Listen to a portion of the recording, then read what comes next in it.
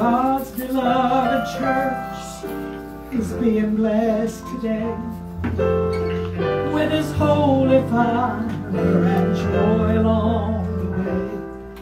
She's gladly getting ready to meet Him on the cloud, proclaiming His salvation with her voice so loud.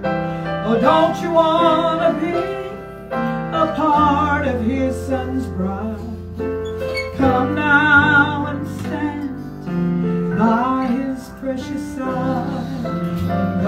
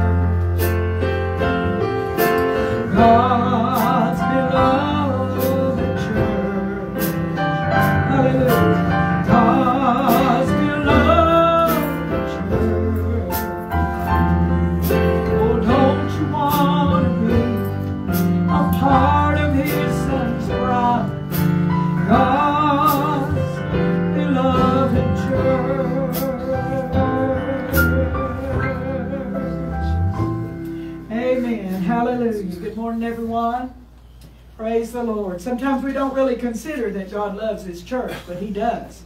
He loves us. We're His church. Everybody that belongs to Jesus, everybody that's washed in the blood of the Lamb is His church. And we're beloved to Him. When He looks down on this earth, He sees a beloved people. And what does He see? He sees the blood of Christ on their lives. And He wants you to know, hallelujah, today, if you've got His blood on your life, that you are beloved to Him. Glory to God. We know that the Jews are God's chosen people, but we know that we are His bride. We are Jesus' bride. So let's uh, worship the Lord today, just as if there's just nothing going wrong. you know, I'm sure there's things going wrong in everybody's life. There are, they happen. But just worship Him, just like there's nothing, nothing at all besides Him and you. Praise the Lord. Does somebody have a prayer request this morning? Pray for Sister Lee. Yes, Sister Lee is sick. She's not here this morning because she doesn't She's feel gonna well. try to make it for church. She is, okay. She'll try to make it church time. But we'll pray for her between now and then. Okay, somebody else. Continue praying for my brother. His- Yes. He had a surgery the other day and it went well. Oh, good. Did he wake up? uh, I, I, I'm not 100% sure about that yet. Uh, Okay. He still has the numbness or not. Yes. But they actually said they had him up yesterday Mhm. walking around. Oh, good. Because he has to. Hallelujah. I guess he can't just be on bed rest because No. I guess after the surgery you can get blood clots and whatnot. Mhm. But uh, the surgery went good and Okay. everything's looking as good as it can. Remember Ralph, that God will completely heal him, save him to the uttermost, right? Somebody else.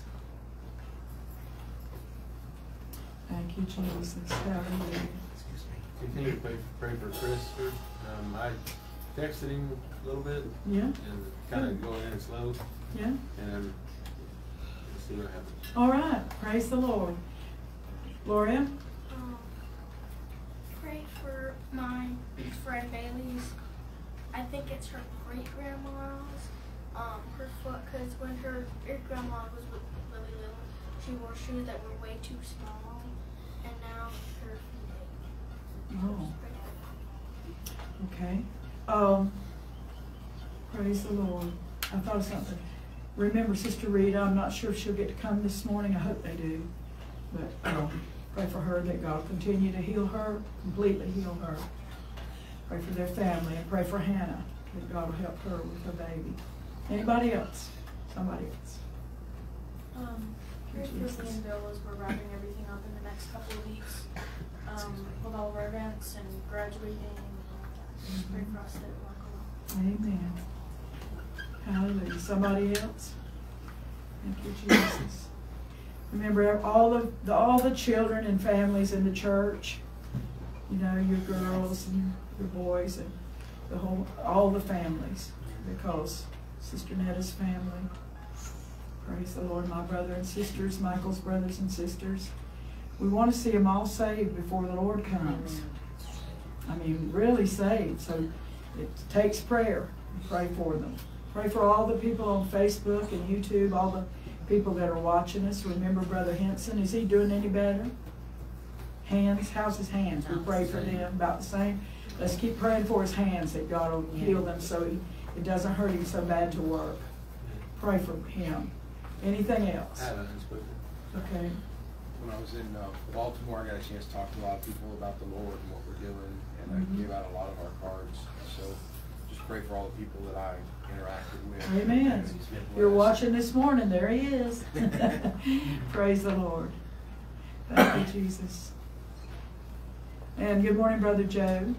I'm hoping he's looking, watching this morning. I saw him at the funeral and I asked him, did he watch us? And, you know, he's so busy getting, but just pray for him that God would help him. He's, most of the dispensation of the property they have and everything they have is on his shoulders. And he really needs the Lord to help him. So pray for Joe, Brother Joe Brantley. Anything else? Remember, Sister Nana? you already said pray for my family. Really pray for my sister Pam. The Lord just really help her, and then um, pray for Jose's grandpa. He had an incident to where he had to go to the hospital. He's out, but just pray that the Lord just heal his body. Okay, heal Grandpa's body. Anything else? Praise God. Okay, let's go to prayer and let's believe the Lord while we pray. Hallelujah.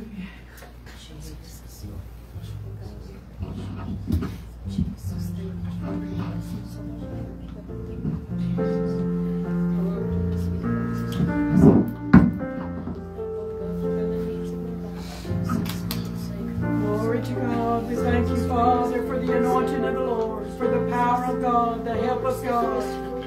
We thank you for loving our church. We thank you for loving all of us, Lord, that are washed in the blood. We are the de Ayala de Dia. Thank you for the love of God that helps us every time we meet together. Thank you for the power of God. Thank you for the anointing of God. Thank you, Lord, for your mercy and your kindness to us.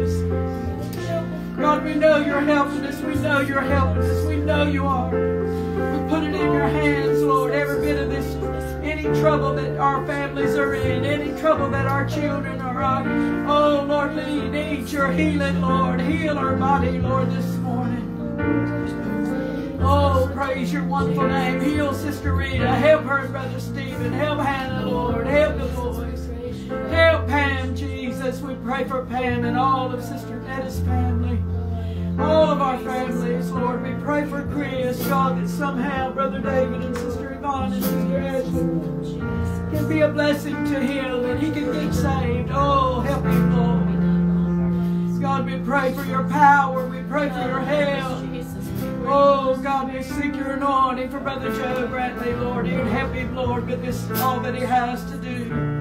Praise your wonderful name. Help him, Savior, with it all. Oh, hallelujah. Help him to know what to do first and what to do when, Lord. Help him with it. God, we ask you to help Michael's brothers and my brother and sisters, Lord. Sisters, Lord. All of our families. God, we praise you.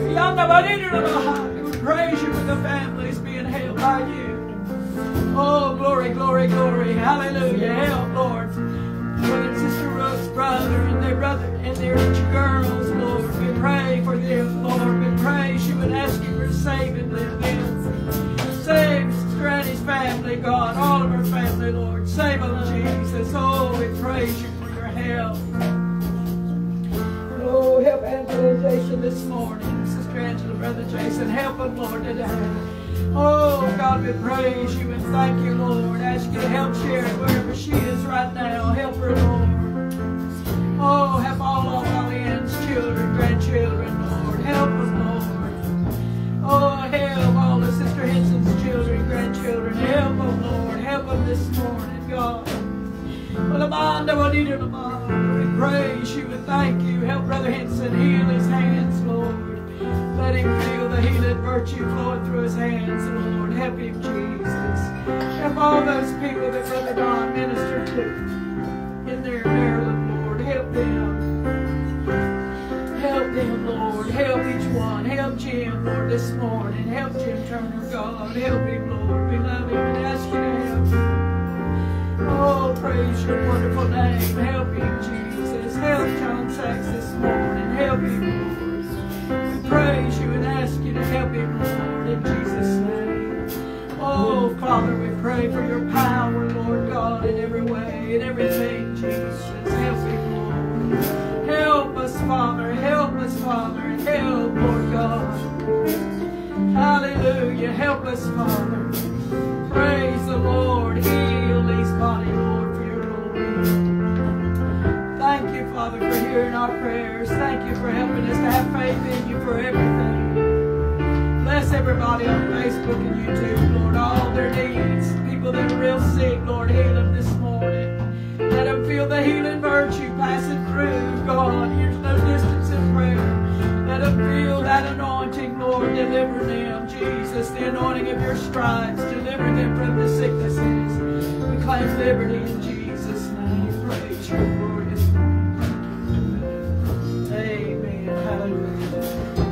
children, let's go to Sunday school. Thank you. Thank you,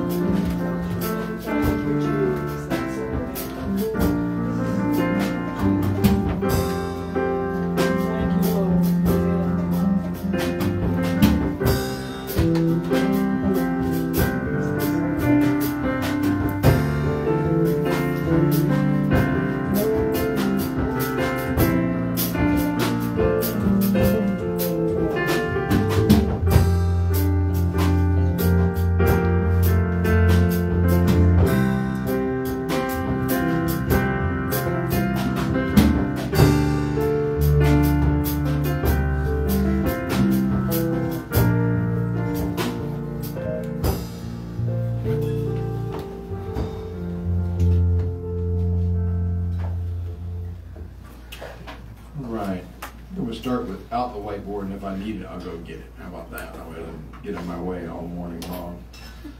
At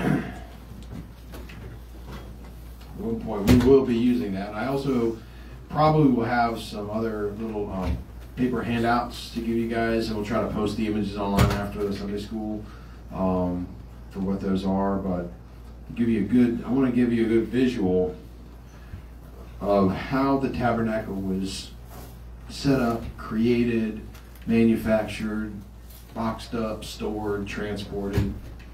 Right? And last week we talked, went through kind of a history, but we talked about how um, God gave instructions for Moses to have this this thing built, and um, why? Why do you want him to build it? What was the purpose? to worship Him. Right. Because, I mean, up until this point, there was no place for them to see God or to, to have any visual recognition of Him. Now, when we drive around and we see a church, we think of God, right? I mean, even if it's church in a town that we're not familiar with, we go, oh, look, there's a church.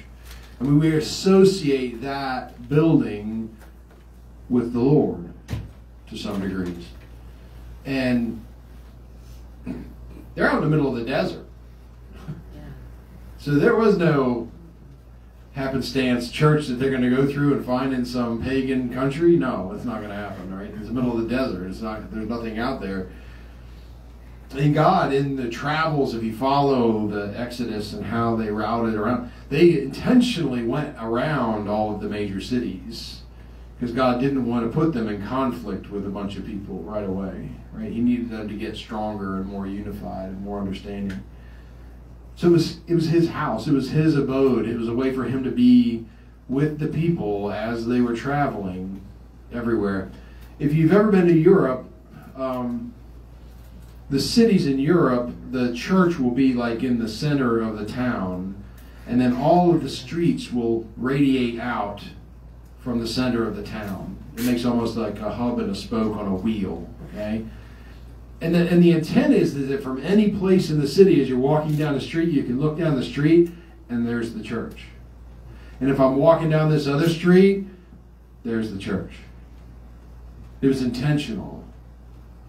And they set up the tabernacle the same way. The tabernacle was placed in the middle of the camp where everybody knew where it was. And then all of the tents went out and were um, set up around it by families, by the 12 families or tribes of Judah, okay, by the tribes of Israel. Um, look at um, look at Exodus 33.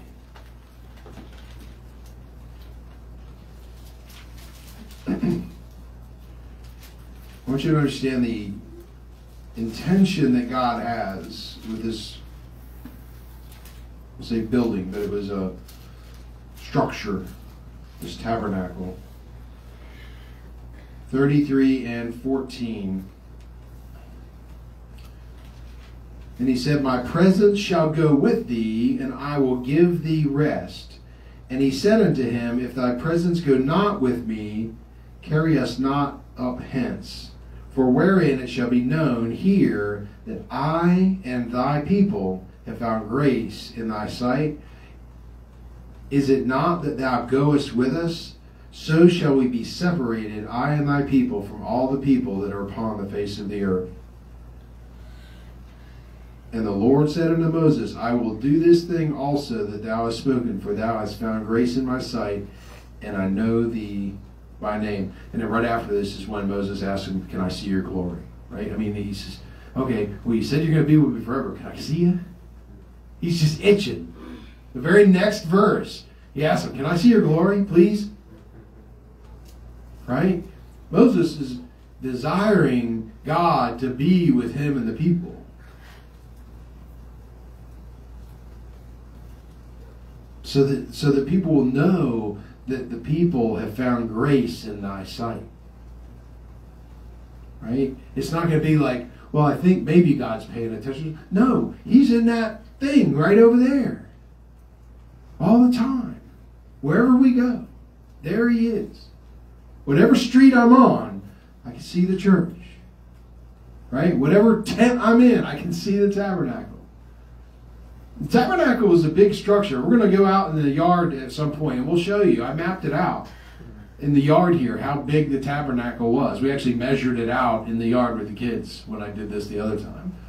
So so I know and and when you see it in your mind visually the size of it, not huge, but good sized. Good sized. What he's saying is and Moses is really saying, I want you to intercede for us all the time. I want you to be right there for us all the time. And you say, you know, God, if you dwell with us, it would certainly help me to lead these people. If they know that it's not just me and that you're right there, it's going to help me lead these people.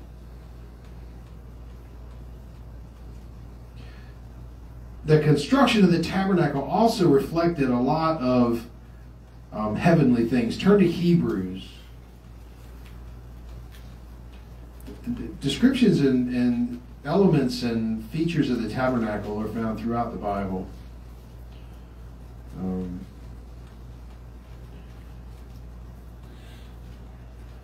sorry, I'm having trouble finding. Here we go.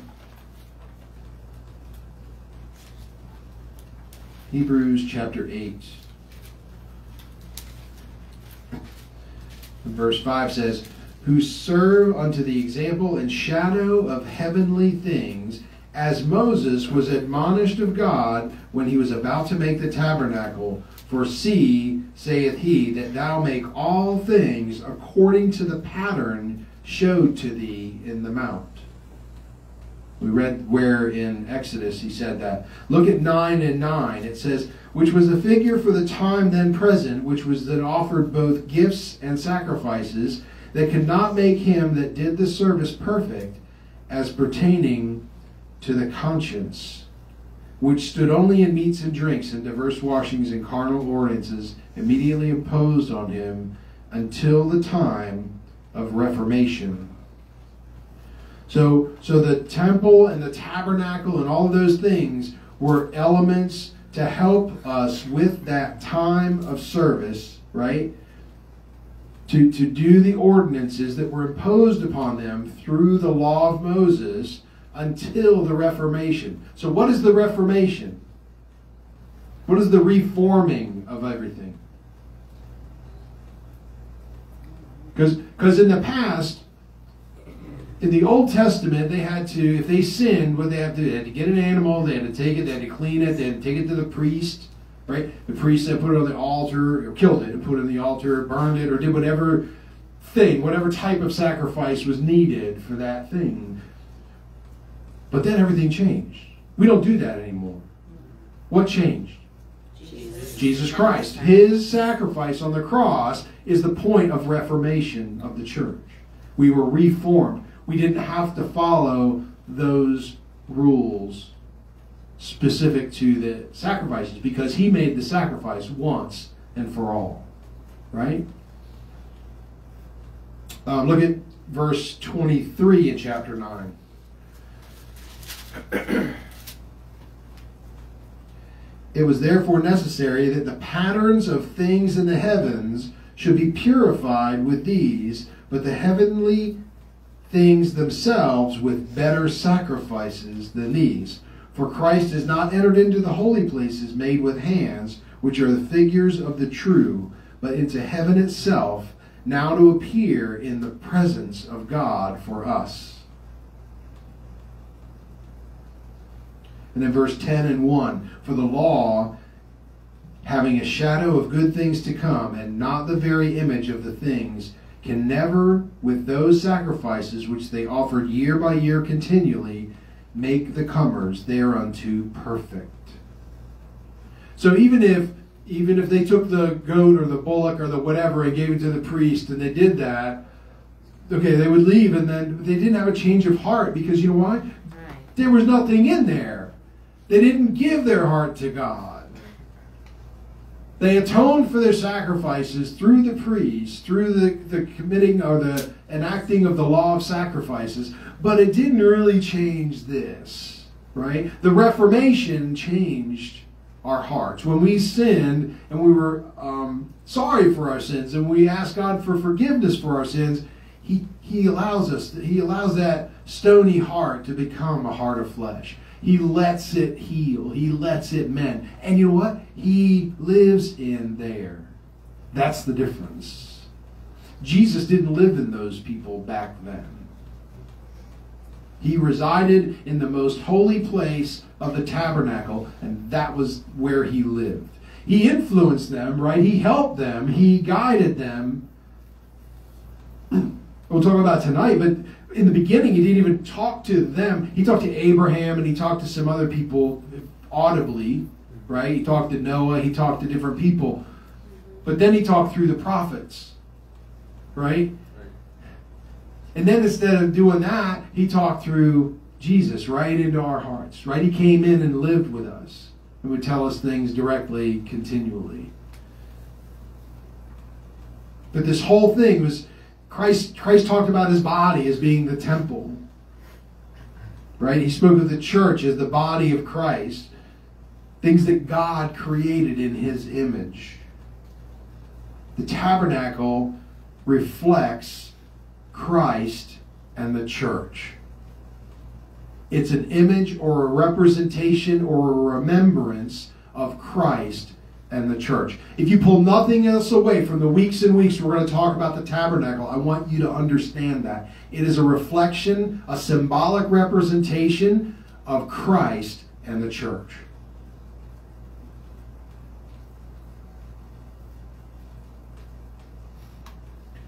And at some point, we leave this earthly tabernacle, right? We take away this corruptible and we put on incorruption. We end up in the heavenly places, the heavenly tabernacles, the heavenly buildings of God. Um, look at Ephesians chapter 5. I might have just quoted that. Brother Don, I have a question. Yeah. If the Jews don't believe that Jesus was their Messiah and their sacrifice, and they, they still don't do animal sacrifices, what do they do now for their sins? Currently, Um, to, like today?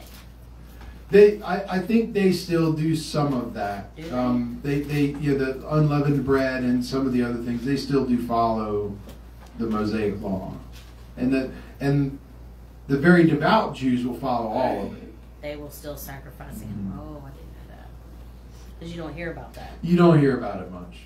Um, I, I don't know that a lot of them in this country do that. I don't know, to be honest. That's a good thought. I have to look that up. I'll try to have an answer next week. Uh, where was I? Ephesians. Ephesians 5 and verse 23.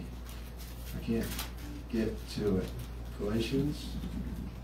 Ah, Yay. 5 and 23 says, For the husband is the head of the wife, even as Christ is the head of the church and is the Savior of the body.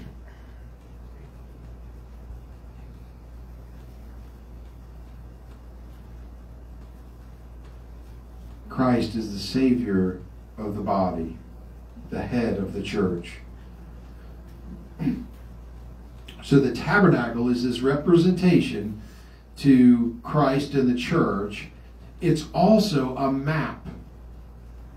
It's a map or a, of the path to salvation and reconciliation with God. And we're, we're going to follow that path as we go through the areas and study the areas of the tabernacle.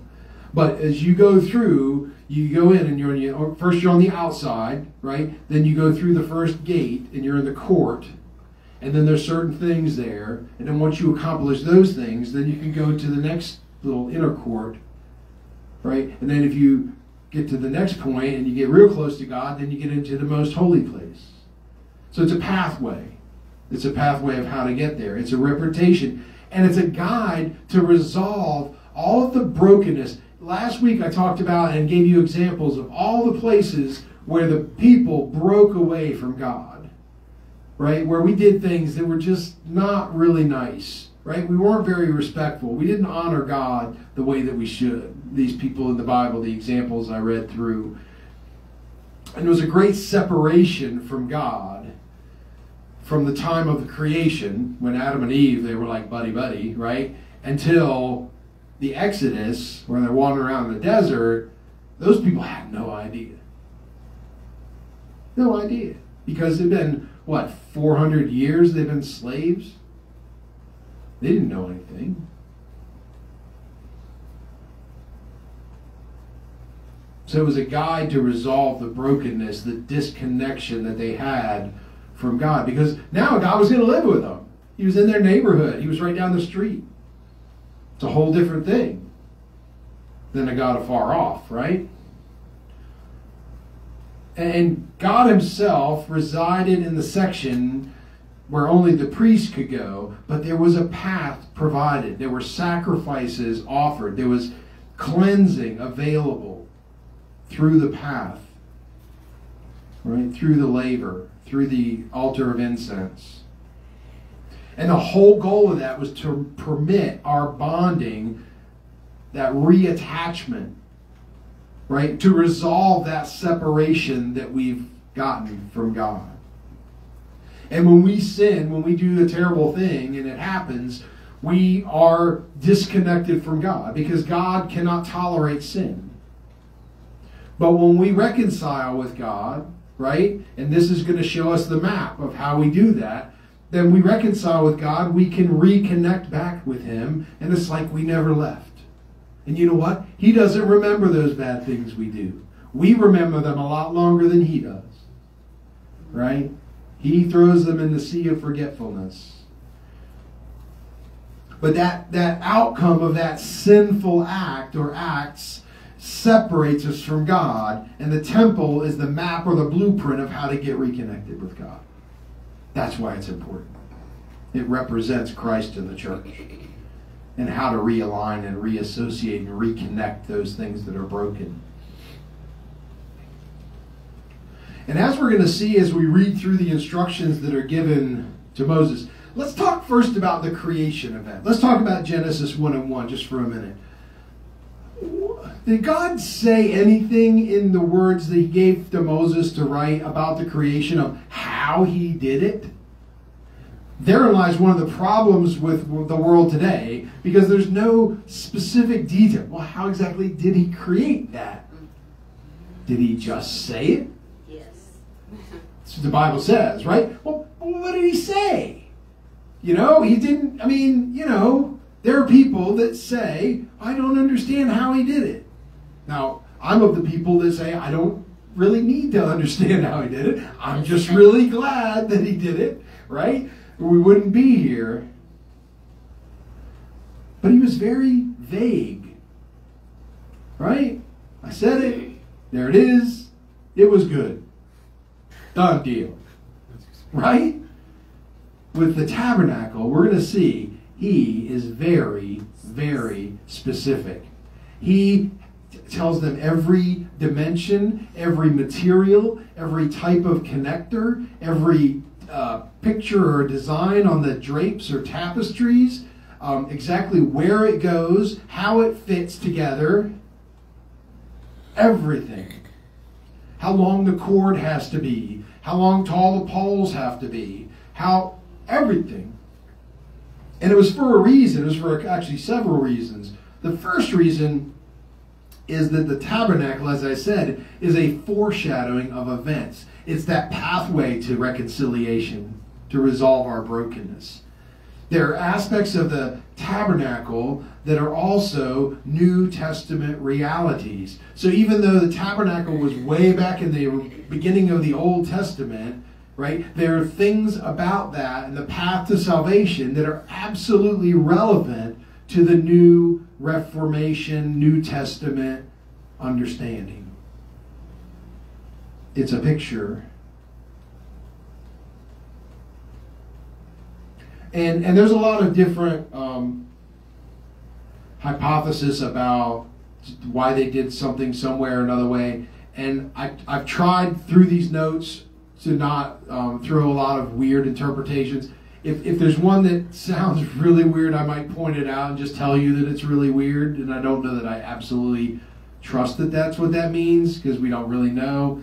Um, there are some uh, commentaries that um, you know come up with their own little reasons of why they did it this way or that way. Okay, and I'll try to make sure I note those as you know these are just what people think. This is not something that we've proven out. Right now, some of it comes from other religious and Jewish scriptures and, and, and documentation from history and things like that and I'll point those out. Historically, this is how it was done, or something like that. Okay, as we go through this.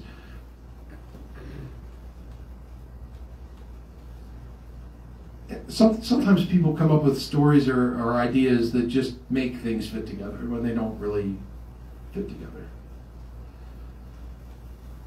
They might not really be rightly related, but they try to relate them anyway. Um, the second thing about the tabernacle was it was God's way to stress the importance of worship. Mean, if the people didn't have a specific place to reference to, if it wasn't that church down the street type of thing, then they wouldn't. He wanted to formalize it. Not just say, hey, I'm your God, you should worship me. Right? Hey, I'm your God, there's the tabernacle, there's all the pathways to righteousness, you should worship me right? It was an emphasis, it was a point of emphasis. And he wanted to make sure that whatever they did, it was right and proper. So he gave no details to the to the um, creation event when he built that because the people didn't have anything to do with it, right? There were no people till day six. So it didn't really matter what they thought. they weren't there to listen anyway. But the tabernacle, this was something that the people built, right, under the direction of God, but then not only built, but would have to take down, put back up, take down, put back up, many, many times, over hundreds, well, at least dozens, tens of years, okay, at least 40 that we know of. Um, we'll talk about where it went after they were out of the other, because it actually ends up in Shiloh at the time of Eli and Samuel. Um, so anyway, we'll talk about that. Um, but great details about every board, every fitting, every rope and cord, every garment, every instrument used in the sacrifices, the curtains, everything.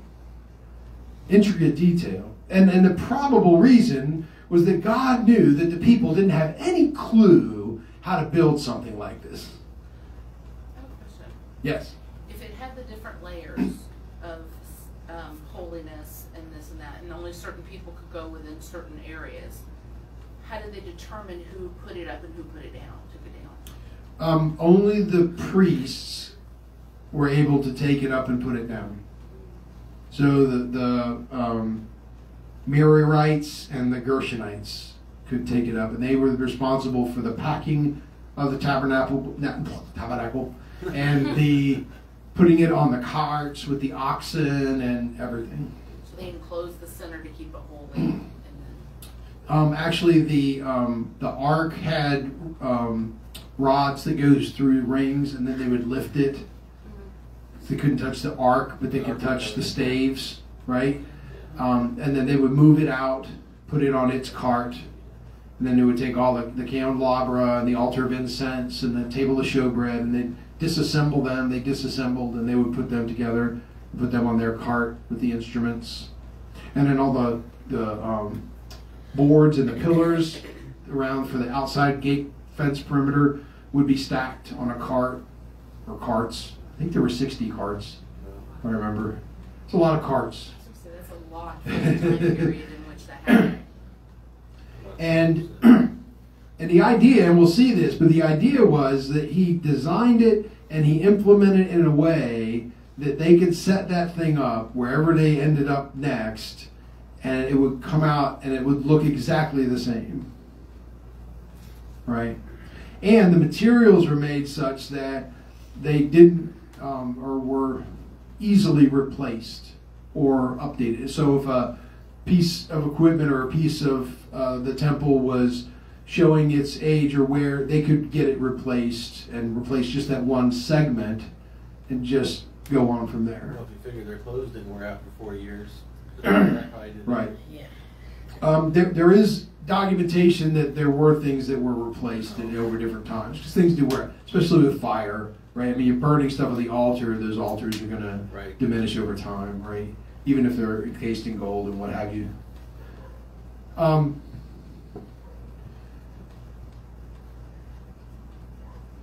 the, the big thing, he, and he gave us that preciseness and all the detail so that the people would properly worship God. So they would learn from the beginning this is how this works, this is the pathway, these are the elements that you need to understand.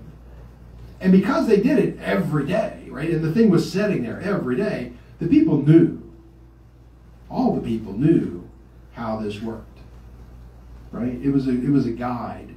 It was a help, and, and it let them help to discover um, moral and judicial things, right? The reasonings behind everything, and it didn't leave anything to their imagination. I mean, they'd already proved in the desert that their imaginations come up with all kinds of wild stuff. Remember the molten calf with Aaron? I mean, how do they how do they dream that up, right? From nothing. Oh, I just I threw the earrings there, and the calf came out. Sure, it did. Yeah. Right? But it re- reduced the risk of them messing it up by him giving them this intricate detail. And the detail also ensured that it displayed the best image of God's glory. Right? It was a beautiful structure. The materials that were used were only the choicest materials available. And remember, they're in the middle of nowhere, right? You can't go down to Walmart and get a replacement piece, right? I mean, they had to deal with what was there. And what was there was not much. I mean, this was not a big forested area, right? This is a desert with maybe some, um, they call them algum trees or shittim trees. These are very small trees. These are not very large at all, right? So, how do you get a 30 foot beam out of a 10 foot tree, right? So, we'll talk about that when we get to the beams. So, it's portable, it's design, it's transportation the ability to take it down and reset it exactly the same wherever they went. Everything had to be perfect and and something that could not be done incorrectly. Right? In my in my region which which was the federal government, we call it colonel proof. Right? Even a colonel can use this thing. Right? And when everything was finished according to the pattern that was provided to Moses when he was in the mountain, Israel had something to show which would make an impression on anybody outside of their nation. Right? These other nations, they didn't have such a structure. They didn't have anything like that. I mean, that was special. That made them special. And it really provided an answer. If, if somebody from another nation came and said, Well, where is your God? Right? The Israelites said, He's right over there. He's in that building right over there. That see that big white thing? He's right in there. He lives in that tabernacle that was not created by man or the invention of art or anything, but completely assembled by divine instruction. We didn't know how to build that thing. He told us how to do everything. And it points to Christ. It, it points to the importance of our worship to the glory of God. That was why it was there. So the direction and the blueprints were told to Moses in the mount. The materials were offered up by the people. And there were two men, there were chief artifactors that were established. It was Bezaleel and Aholiab. And these two men were gifted by God to be able to build and construct literally anything. You know, your dad's one. Can, you know anybody can just build anything? Mm-hmm. Right? My dad was like that. My dad, when I was six years old, turned an old uh, dryer into a cotton candy machine for my sixth birthday party. Wow. That was my dad. He could take anything and turn it into anything. I wish I still had that machine. Um, it took eight months of labor and then the tabernacle with all of its um, structures and walls and golden fixtures and implements and everything. And it was erected on the first day of Nisan. Let's look at Exodus chapter 40.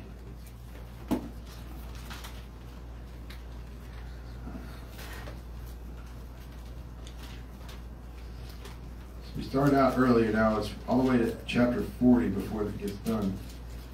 Um, chapter 40, verse 17.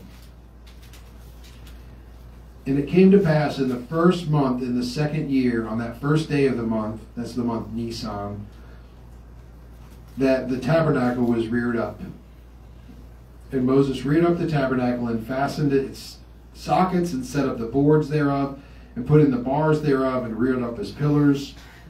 He spread a board abroad the tent over the tabernacle and put on the covering of the tent above it, as the Lord commanded Moses. And he took and put the testimony into the ark and set the staves on the ark and put the ark or put the mercy seat above upon the ark. And he brought the ark into the tabernacle and set up the veil of the covering and covered the ark of the testimony as the Lord commanded Moses. And he put the table in the tent of the congregation upon the side of the tabernacle northward without the veil. And he set the bread in order upon it before the Lord, as the Lord had commanded Moses. Do we see a trend here? As the Lord had commanded Moses. This is not something Moses made up. This is not something Bezaleel and Aholiab made up. This is something that they were directed to build, that they were given the blueprints to. And they didn't do anything else. Well, you know, don't you think that would look better in blue? Right? You can hear somebody say it. No, it needs to be white. It needs to be purple. It needs to be. There were certain needs with the colors. You couldn't just color them anything you wanted. The cherubims had to look a certain way. The mercy seat had to be made a certain way. Everything had to be covered with certain material. Well, gold's very expensive. Why can't we cover those in silver instead? No, they're in the most holy place. They have to be covered with gold because gold is more pure than silver. There are reasons behind everything that happened because the Lord commanded Moses. He wanted it to be exactly this way. And they did it. Here, here in chapter 40, they. And then every time, well, we'll talk about that. I'm not going to jump ahead. well, let's talk about the journeys because it is a portable structure. It was not something that was going to be built once and forgotten about, right? It was something that they had to maintain. It was something that had to be moved. And if you've ever built a building, taken apart a building, and rebuilt a building, right, things break when that happens, right? It's very hard when, when something's portable. I mean, when we started with, I don't have my phone. When we started with portable phones, right? The first portable phones, you could barely look at them and they would break, right? They're a little better now, right? They're a little more rugged. They got funny glass on them to keep it from cracking, maybe. Um, some people are still hard on. They still don't last through the washing machine. But you know, I'm not saying you did that. I was just, oh, her, she's no. Brother Michael, that was his favorite. Was washing in the washing machine. He had a note on the inside lid of his washing machine. Check for self. That's funny.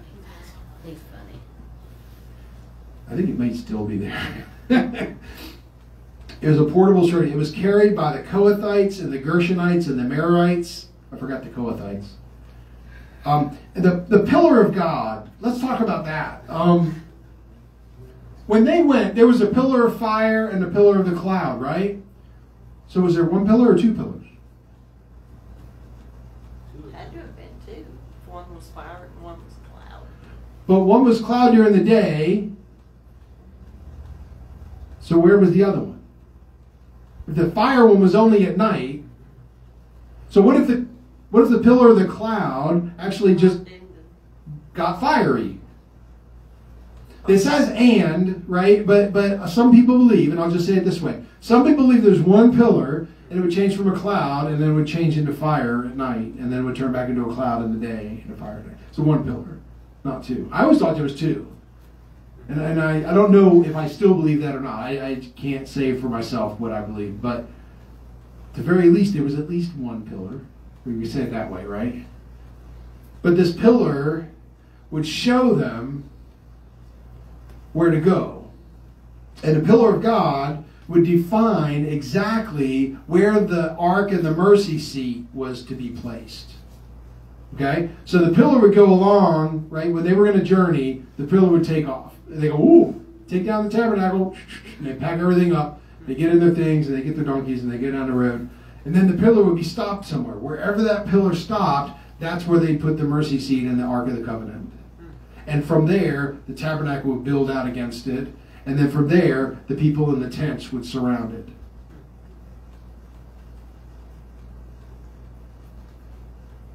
When the pillar moved, everything was pulled up and hauled away. When it stopped, everything was reset in the new place. It could stay there for a, a, day, a month, a year, a thousand, whatever. They would hang out. As soon as the pillar goes, okay, blow the trumpet. Here we go. Load up the carts. Okay, let's go. It moves like five feet. Okay, don't get set everything back up, right? I don't think it was ever five feet, No, but no. God's out there going. "Huh, huh, huh." yeah, right. But the, the, the location of that tabernacle, right, which was defined by where the pillar of the cloud stopped, the location of that tabernacle um, was sort of marked as the headquarters for the host of Israel, right? That was their command post, if you will. He was their commander in chief. When, when they do arrive in Canaan for, with Joshua, it accompanied Joshua on most of his expeditions against the other armies. Like they would bring the carts and stuff with them because he had the ark with him. Um, but in every case, it was taken down piece by piece, packed into the carts, and hauled away by the oxen.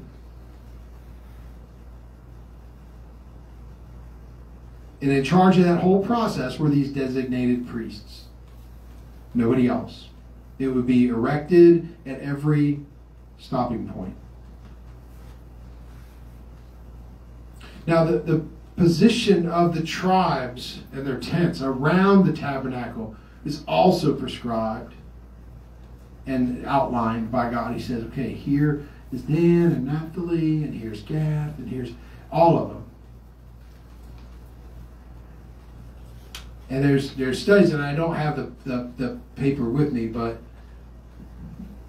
if you take the amount of people that were in each tribe and you look at how many people that would be and where north, south, east, and west they were to be in orientation to the tabernacle, it makes a cross. It makes a cross. So there's little tiny tribes up here, there's great big tribes down here, right? And the medium tribes here and here. And the, and when you add up all the people and you look at the sizes, and I've got a, I've got a picture. I'll bring it next week. I didn't print it out this week. I didn't, I didn't know we'd get this far. Um, it actually shows this as a cross. I mean, the cross thing didn't happen for thousands of years after this, right? But it does form a cross. Um,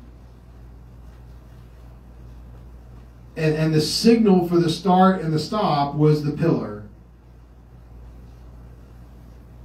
Look at um let's look at Exodus 13. Just flip back. This is where it talks about the pillar. Um, Exodus 13 and verse 21. And the Lord went before them by day in a pillar of a cloud to lead them in the way, and by night in a pillar of fire to give them light to go by day and night. He took not away the pillar of the cloud by day, nor the pillar of the cloud of fire, pillar of fire by night from before the people. So it doesn't say pillars, right? And and it's the Lord went by them in a pillar of a cloud, and then by a pillar of fire. Could that be the same pillar?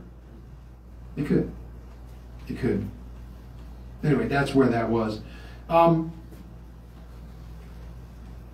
that pillar of the cloud is also sort of defining um, the presence of God. Remember later, like when Moses was at Mount Sinai, right? The whole cloud was, or I'm sorry, the whole mountain was covered with a cloud, with lightnings and thunderings, right? That was God's presence descended on the mountain, right? And it scared all the people down in the valley because they thought all that lightning and those clouds, you know, Moses is a goner, right? Let's make a calf, you know. so they they didn't understand what was going on, right? But um, but why why all this need for guidance? Why why did God have to like you know grab him by the ear? Come on this way. Okay, stop. Okay, this way. Okay, stop. It was a lot of it was for their protection, right? So I mean, because I thought Moses was supposed to lead the people. But did Moses know where he was going? No. It was the pillar of cloud or the fire that knew where they were going. Moses just, hey, look, the pillar's moving, let's go. That was his that was his directionally challenged self, right?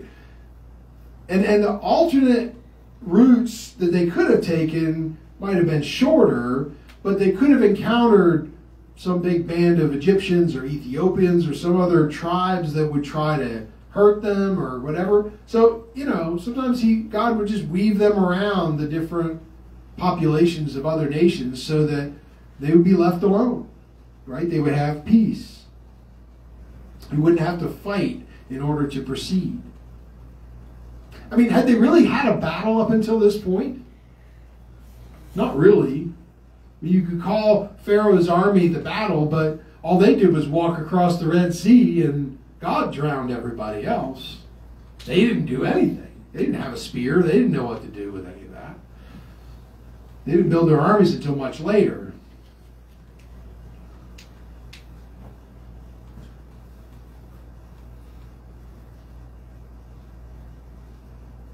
They, they weren't really prepared to fight any battles. And, and the wilderness was a vast and a desolate place. It, it was largely uninhabited, right? There weren't a lot of concentrations of people in this wilderness. And without a good guide, they could be wandering for a long time and, and wandering into places that have no ability to sustain them no water, no food, no shelter. They could easily perish in a place like that, especially for a long time, which they were there a long time. But God's continuous presence allowed them and enabled them to persevere on that journey all the way through. It was their visible evidence that God was with them.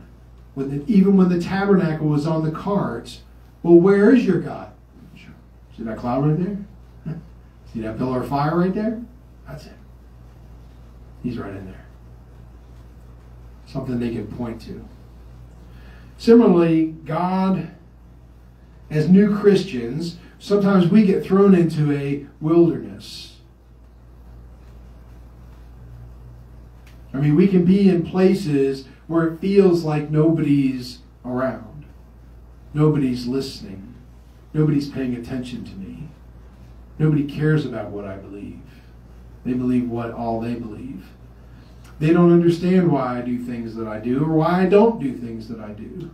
They just want me to do the things that they do, and I'm not comfortable with that anymore. It's a wilderness.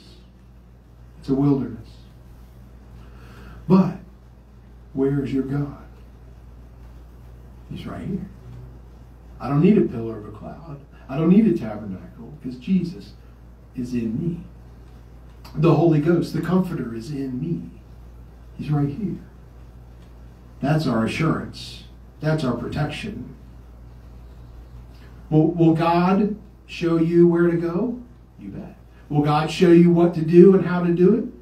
Yes. Yes, He will.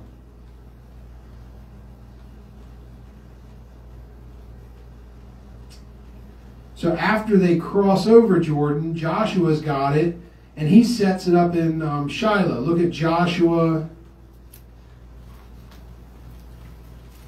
Um, where I find it?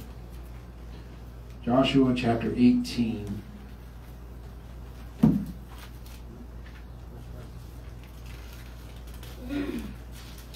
Joshua 18 and 1. And the whole congregation and the children of Israel assembled together at Shiloh and set up the tabernacle of the congregation there. And the land was subdued before them. So Joshua sets this up in Shiloh, and it remains there all the way through until the time of the judges, even the time of Eli. Because remember, Eli was in Shiloh, and he was there with Samuel as a boy, right? Because they said the lamp of God had gone out. Remember that story? Okay? Well, that lamp of God was the candelabra in the tabernacle, right? And their job was to keep that lit at all times, but it, it didn't. It had gone out. So that was the place. Uh, then 1 Samuel 4 and 4.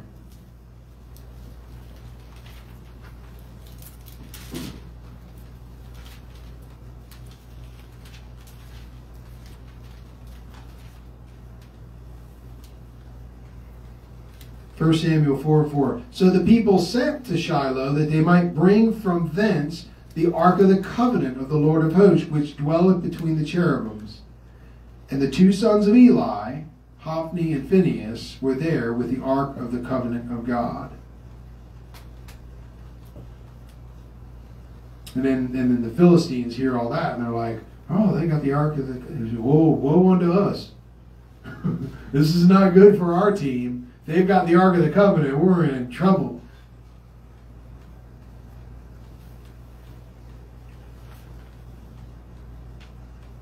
But it was taken from that building at that time, and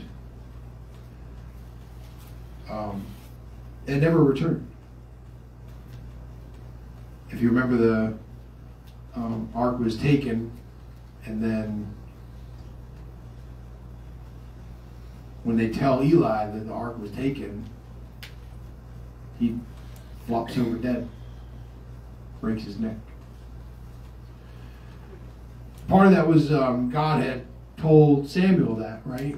That your sons and yourself will die on the same day. And that's exactly what happened. Now, it's probable, or I'll say this way some speculate, how about that, that the ark may have deteriorated because it was made of wood. The wood was covered with gold, but it was still made of wood, and it was very old. So after many years, it would have been worn and decayed and that kind of thing. So they think maybe, but there are others that suggest that there are other texts that suggest that it possibly could have been replaced with a model that was made from stone instead of from the wood. I don't know whether any of that's true. I'll just classify it that way. The Bible does not state any of this. This is just from other texts. Now, there are other elements of the tabernacle that were transferred. Look at 1 Samuel chapter 7. Just flip a page or two. Chapter 7 and verse 6. And they gathered together to Mizpah and drew water poured it out before the Lord and fasted on that day and said there, We have sinned against the Lord. And Samuel judged the children of Israel in Mizpah.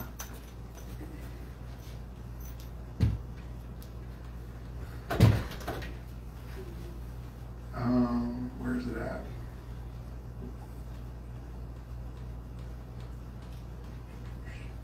Okay. Oh, oh, oh, I see what it is.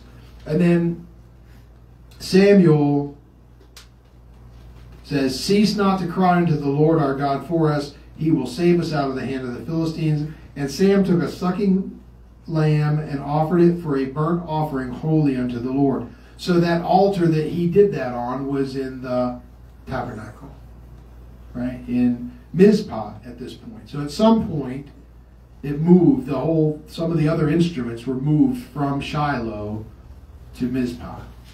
Okay?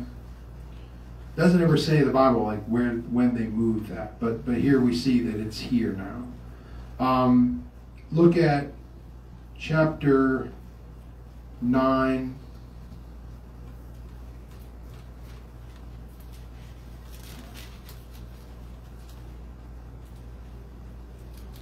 nine. And verse twelve. And they answered him and said, He is, behold, he is before you. Make haste now, for he came today to the city, for there is a sacrifice of the people today in the high place.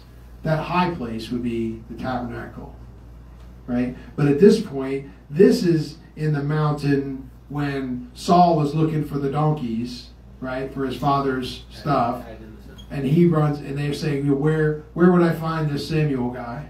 Right, the seer they called him, and they said, "Oh," and then so then he tells them that, and then chapter ten verse 3. Then thou shalt go forward from thence, and thou shalt come upon the plain of Tabor, and there shall be three men going up to God to Bethel, one carrying three kids, another three loaves of bread, another carrying a bottle of wine. So,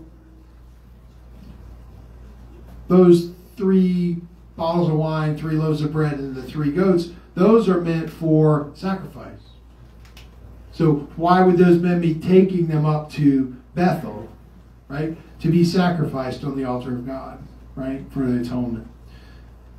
So at this point now it's in Bethel. So so it did seem to move from place to place after they came out of across Jordan, right? It was first in Mizpah, then Shiloh, right? Now it's in Bethel,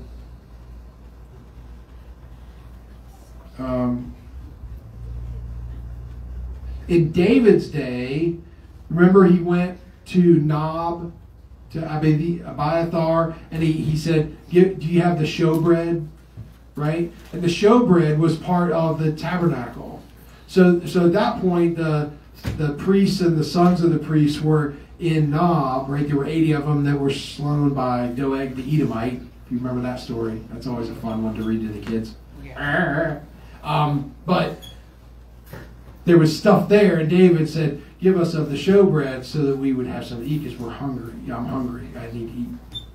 So, so there were certain times where this thing moved after, you know, the big time. Didn't move as frequently, obviously, right? Because everybody was kind of dispersed through the other regions, right? They were taking over that promised land. And even in the case of, at the end of of David's reign as king, the high place that was at Gibeon possessed some fragments of the original tabernacle. And that part in, in First Chronicles and First Kings, where they talk about with David, that's really the last time we hear a lot about the specific articles about the tabernacle in the Bible. You know, there's brief mentions to it or reflections on it of what they did then, that kind of thing. But we'll go ahead and stop there. Um, and then we'll look at the um, sort of temporary quarters. There were some um, temporary places where the like the um, artifacts of the tabernacle were stored that were not the physical tabernacle. Right, there was a separate tent, and this was done mostly as they were preparing to build the temple. Because some of the things, not all, but some of the things they used in the tabernacle were used in the temple that Solomon built. Okay? But they didn't have a place, so they stored them in this sort of temporary place. Okay? So we'll talk about that, and then we're going to get into um, the, the construction of things.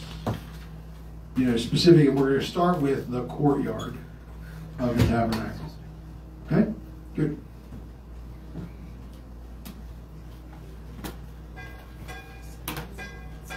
Is this good so far?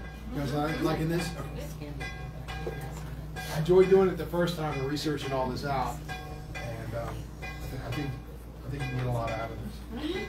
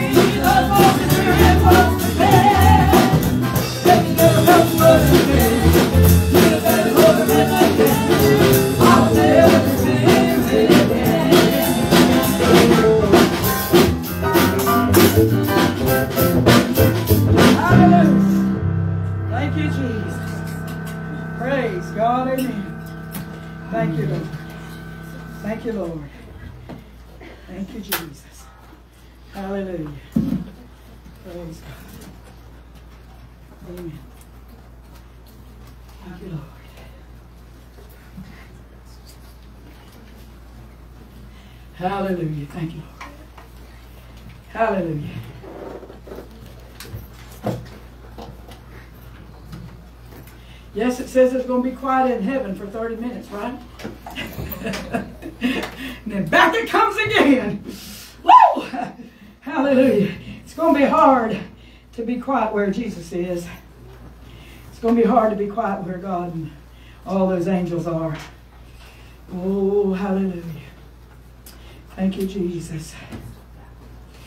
Praise God. You know, I feel help this morning. I don't know if you do, but I do. I feel help from above. Hallelujah. I'm going to read from 2 Timothy, the first chapter, in the seventh verse. Hallelujah. You want us to pray for you before we get on, Lee? Come on. I'm going to pray for her. Thank you, Jesus. I'd come to it. See back? All right. Her back and everything else. Oh, Father, we anoint her with oil in the name of Jesus. Father, we felt your spirit here today.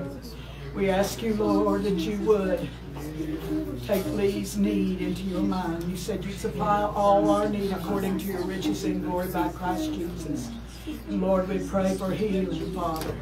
This need must be met. Will you meet it this morning, Lord? Heal her back. Heal her from everything that's troubling her, her stomach, Lord, every bit of it, Lord. Oh, Jesus, hallelujah. The enemy has tried to hold on to this sickness, making Lee be, not be able to keep going. But I ask you, Lord, for help for God, that this would not work anymore. That the power of God would take care of this need because of your promise to supply our need according to your riches and glory by Christ Jesus. Supply this need this morning by the glory of God, the power of God. Supply this need, Jesus. Supply this need. Supply this need. Come on, everybody. Tell him, ask him, supply this need. Supply this need. Supply it, Lord. Supply it, Lord. She's got to have your help. She's got up by faith and come here and played the piano and sang by faith, Lord. And she's got to have her need. Supply it. Supply it. Supply it. Supply it. Supply it. Thank you, Lord, for supplying her needs. Thank you, Jesus. Amen.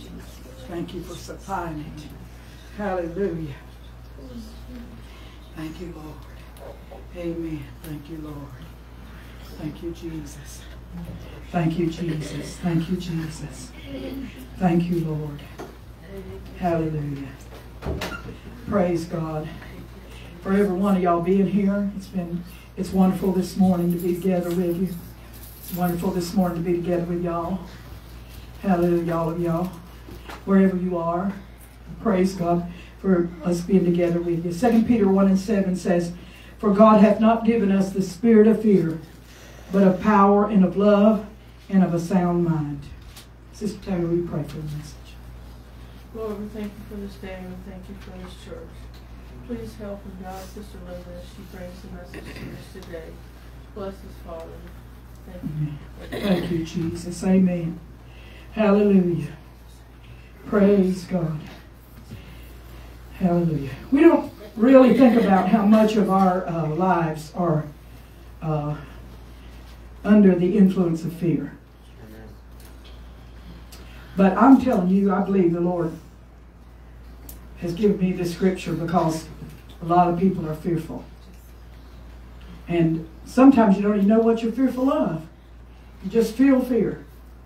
You just aren't sure that that uh, it's going to work out all right, or aren't sure that you're going to do right, or aren't sure that uh, other people are going to be right. You know, or that that something's not going to come upon you that's going to be too powerful for you, or that something is influencing you that's too powerful for you.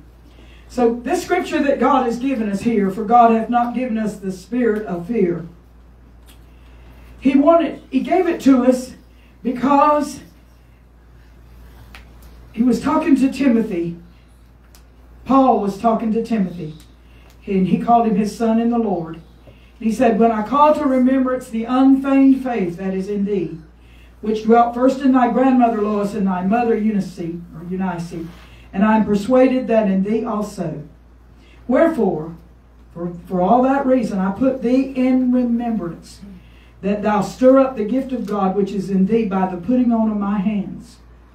For God hath not given us the spirit of fear, but of power and of love and of a sound mind.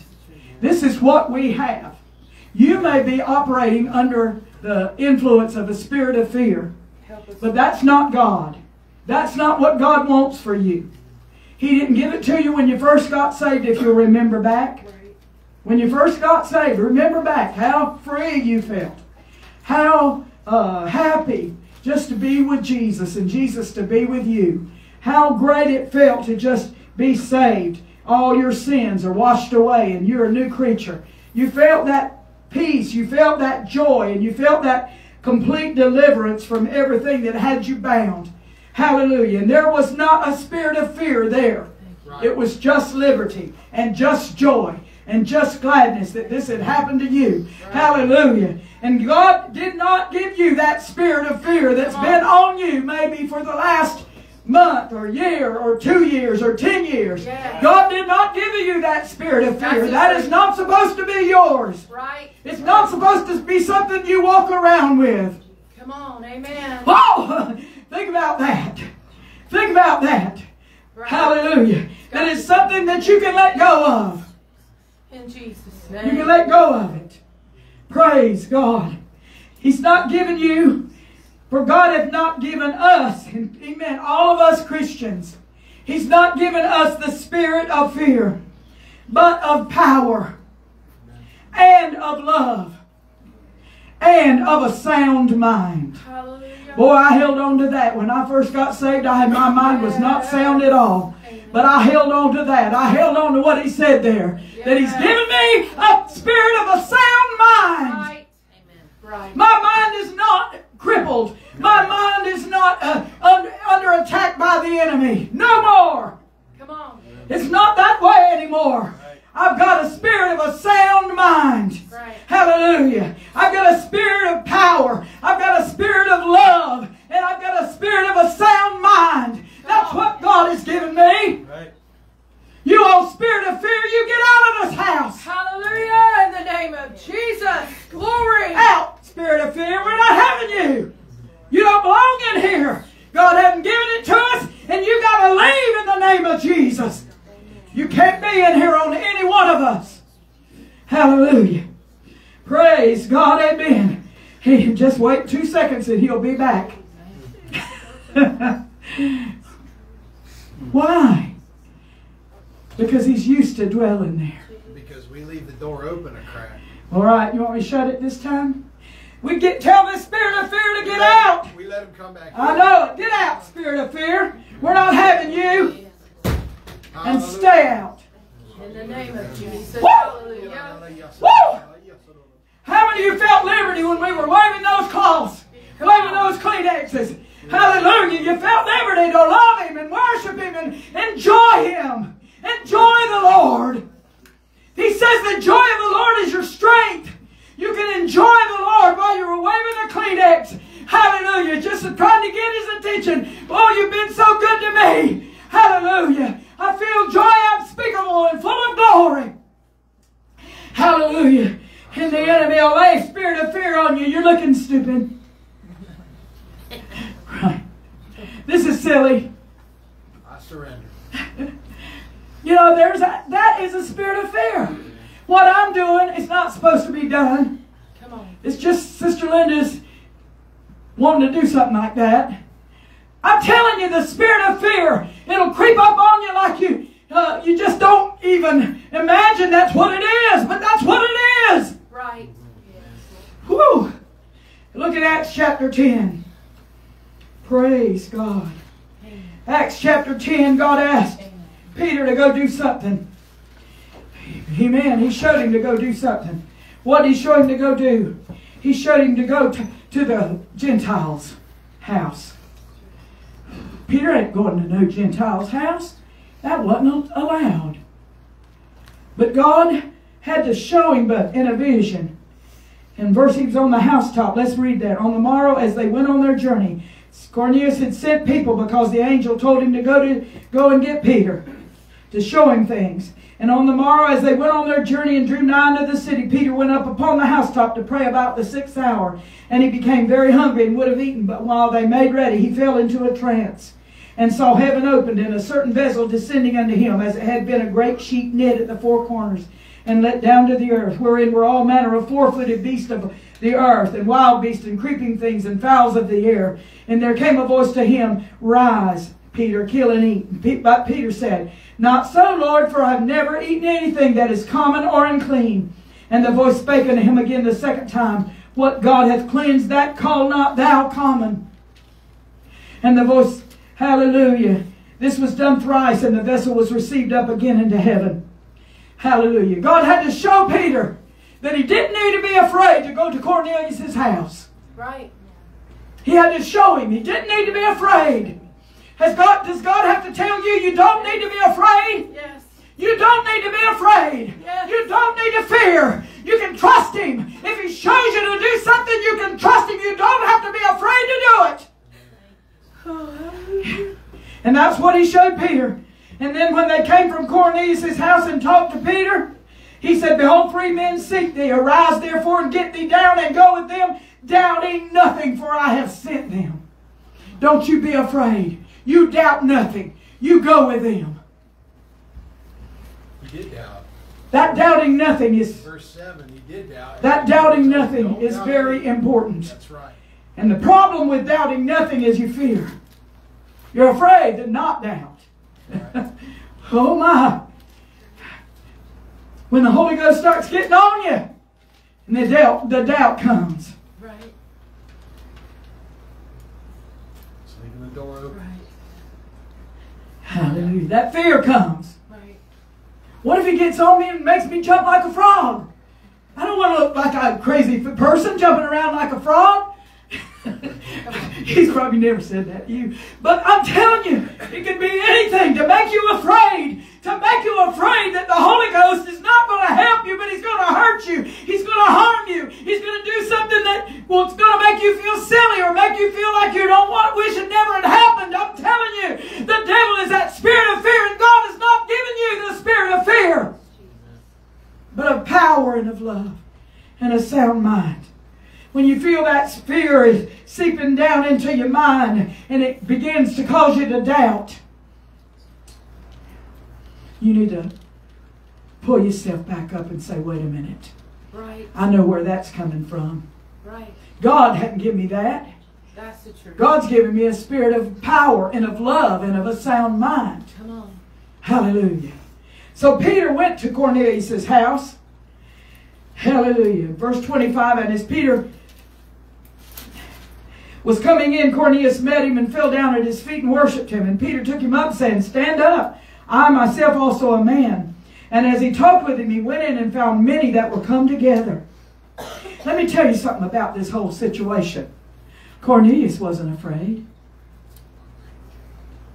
Cornelius had seen the angel. Right. God knows how to help you not to be afraid. He knows how to help you to not doubt. He knows how to help you to realize something's happening. Something's happening this morning. Y'all feel it? Something's happening. Right. This is not just a regular service. Something's happening. Oh, but Sister Linda, so many services behind. Forget it. Something's happening this morning. We've been praying. We've been seeking God. God's going to move. He is moving. Something's happening. Linda, when y'all prayed for me when I, I couldn't stand up, I had thrown up so much this weekend that my back was out this morning.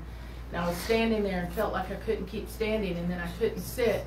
And when I came and sat back down, I started feeling things moving around, it felt like, you know, like you're trying to get comfortable and someone put their hand on me and as they prayed, the Lord put it back together and I can stand up and I'm not hurting.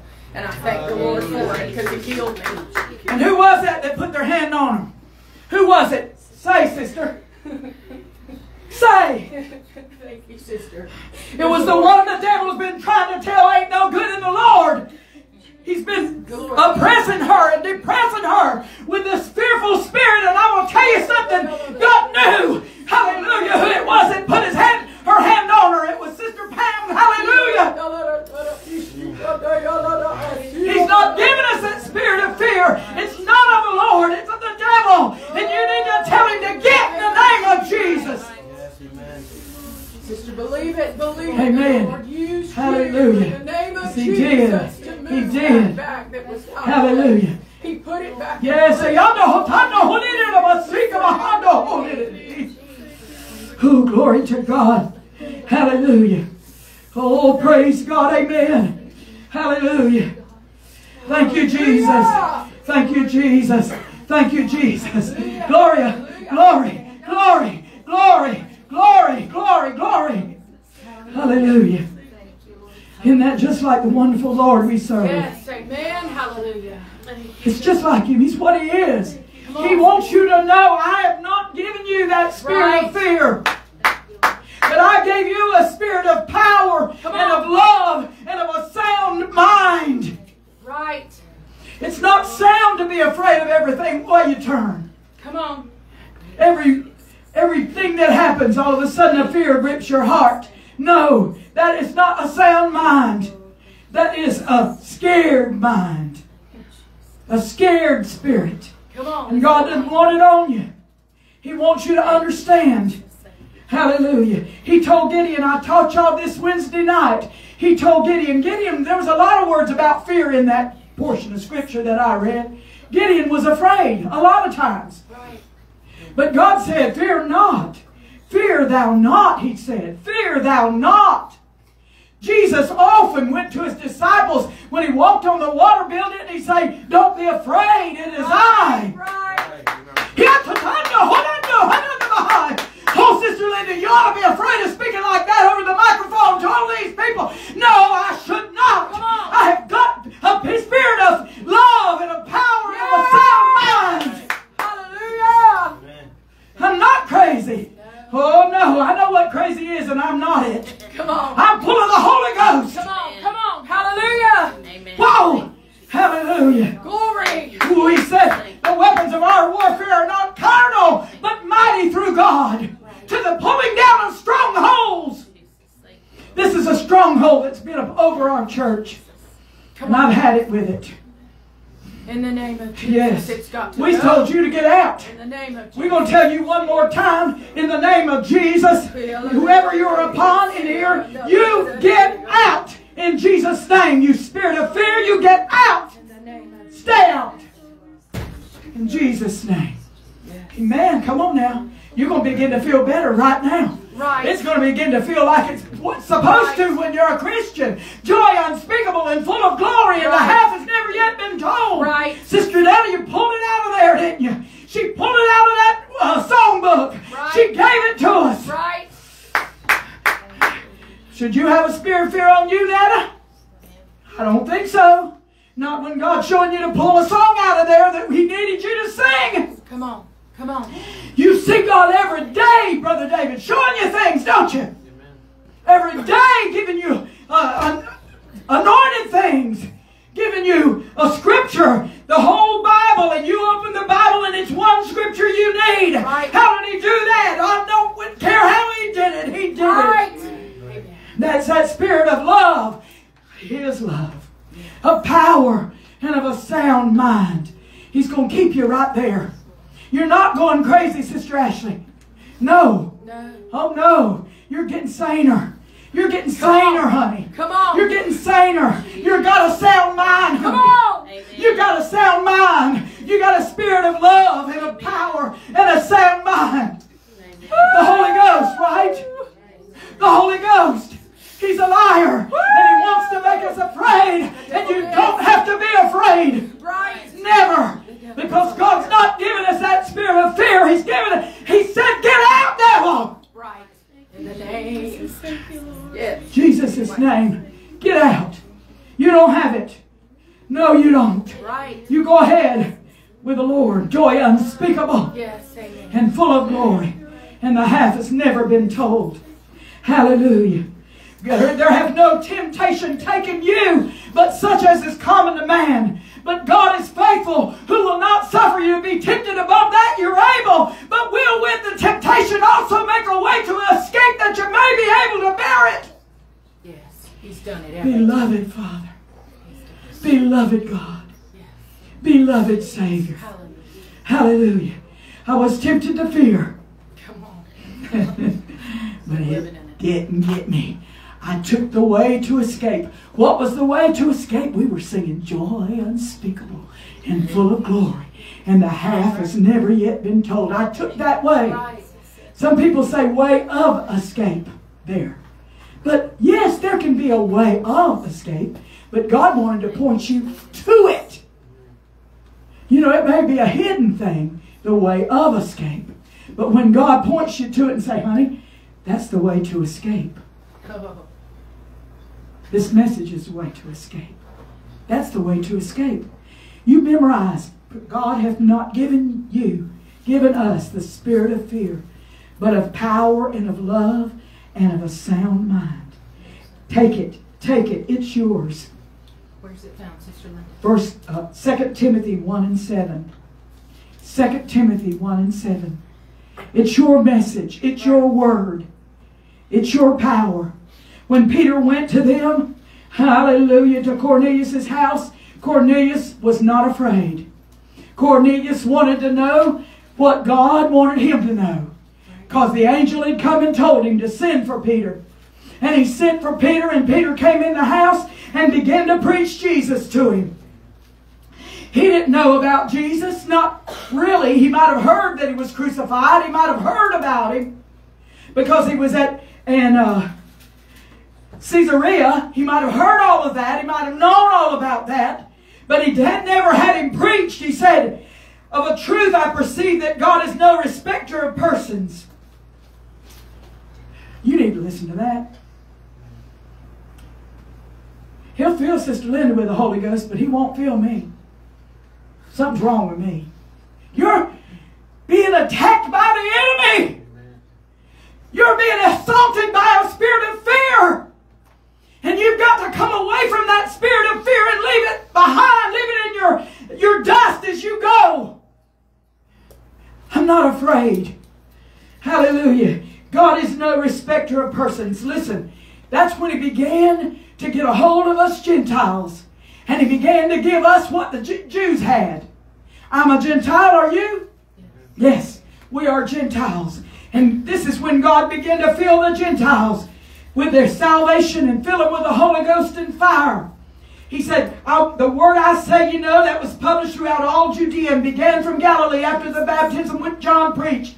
How God anointed Jesus of Nazareth with the Holy Ghost and with power power who went about doing good and healing all that were oppressed of the devil, for God was with him. And we are witnesses of all things which he did, both in the land of the Jews and in Jerusalem, whom they slew and hanged on a tree. Him God raised up the third day and showed him openly, not to all the people, but unto witnesses chosen before of God, even to us who did eat and drink with him after he rose from the dead.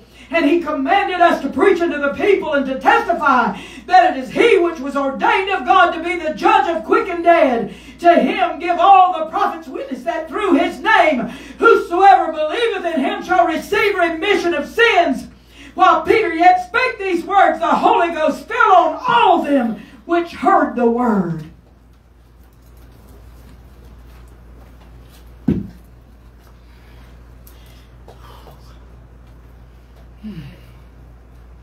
Hallelujah.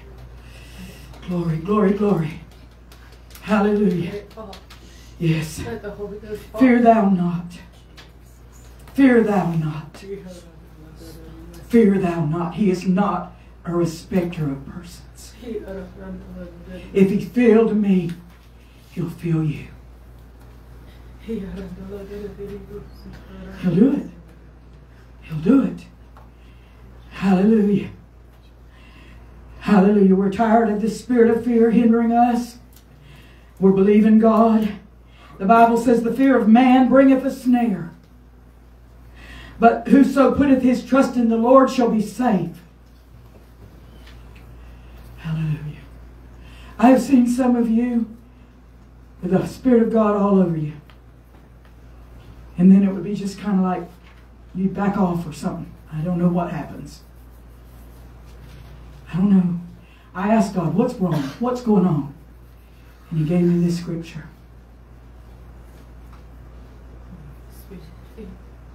But you also have to believe, not just against the spirit of fear. You also have to believe that He's given you the spirit of power. Yes. You know, when I preached Wednesday night about Gideon, he was afraid a lot. But God took him by the hand and made him a man, a mighty man of valor, didn't he?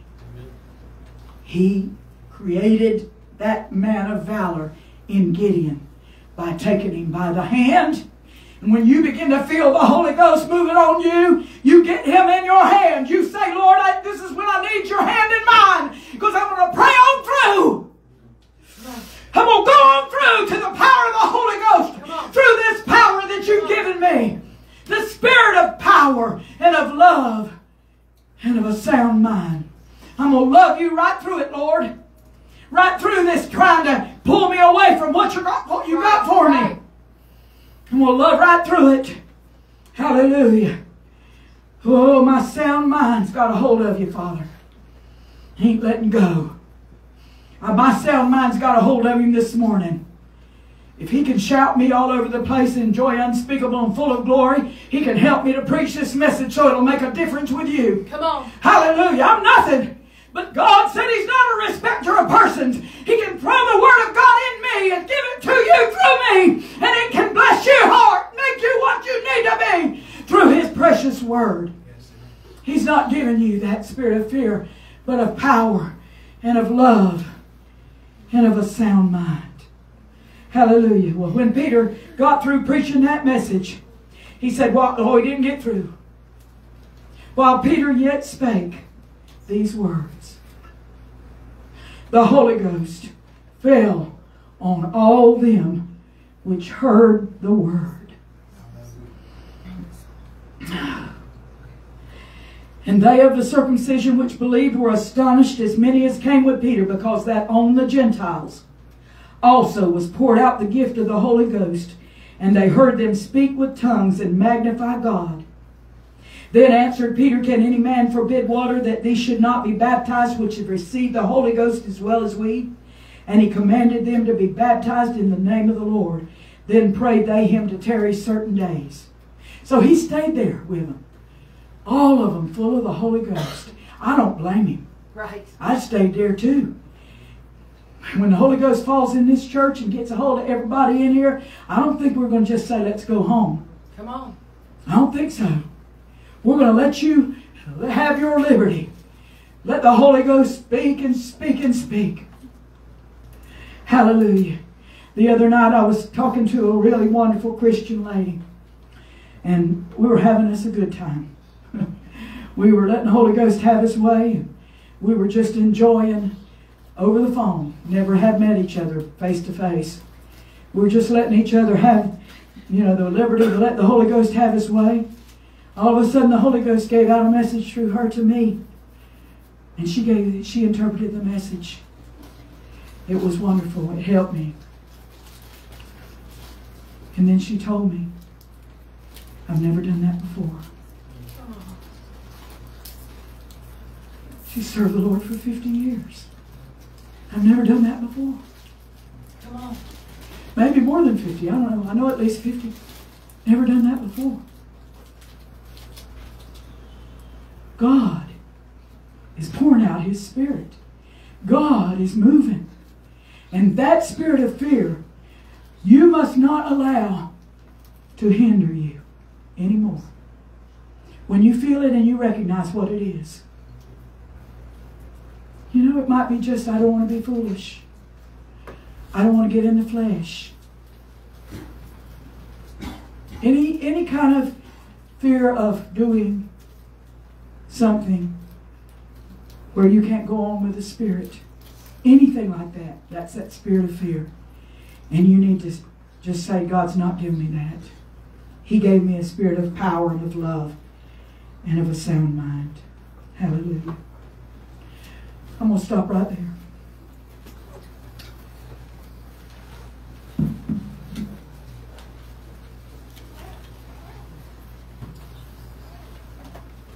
One day God spoke to me. I had it on this little green paper because I've been saving it. He said, I'll give you my strength to go on.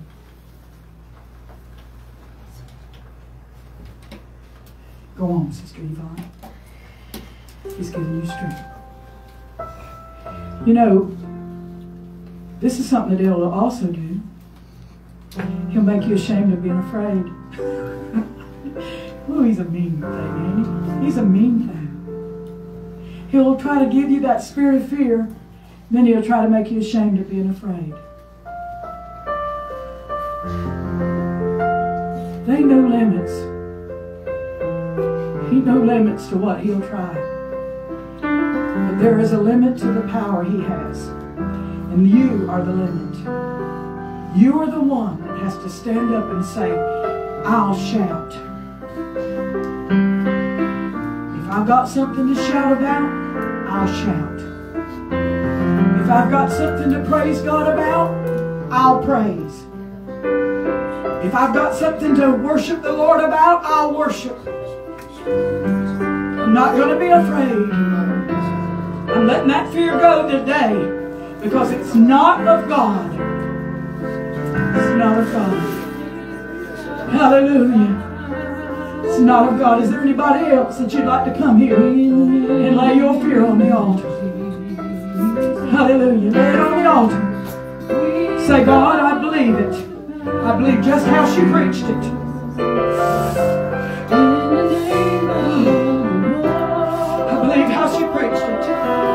How she preached it. I'm, not going to have it anymore. I'm not going to have it anymore. I'm not going to be afraid anymore. I'm not going to have it. I'm not going to have it anymore. I'm not going to have it. Oh, hallelujah. God, I thank you. Every time the Spirit of God wants to come on me, I'm going to say, Come on, Spirit of God. Come on, Holy Ghost. Come on. God said He'd give me strength to go on, and I believe Him. I believe He's giving me strength right now here at this altar. Wow. Go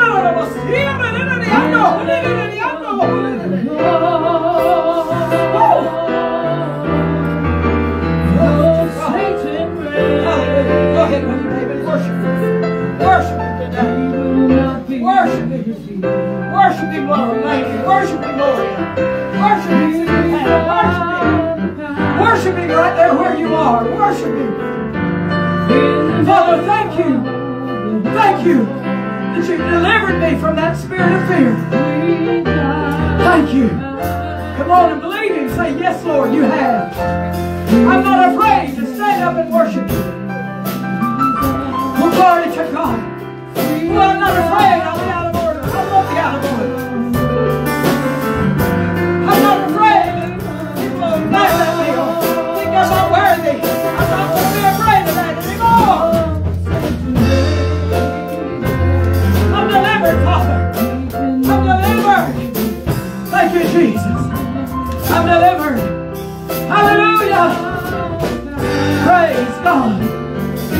God has not given us the spirit of fear, but of power and love of mind. I got it, Lord. I got it, Jesus. In the name of Jesus.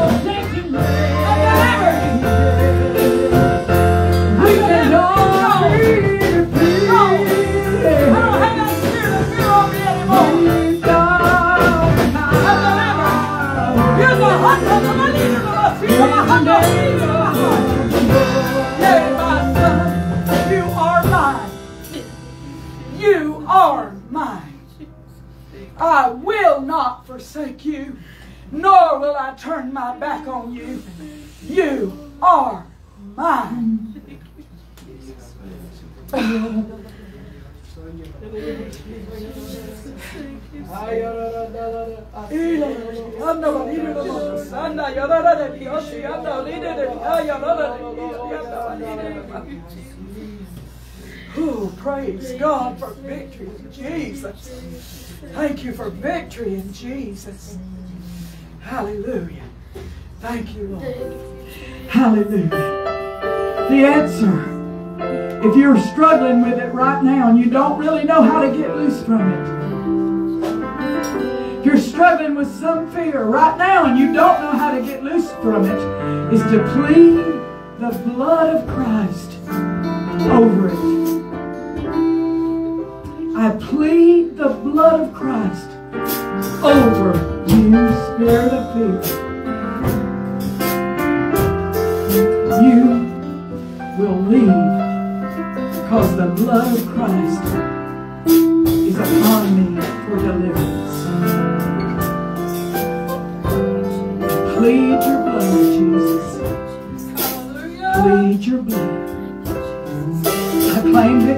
Jesus. Oh, praise God. If he's still brought bugging you, troubling you, making you afraid, just say, I plead the blood of Christ.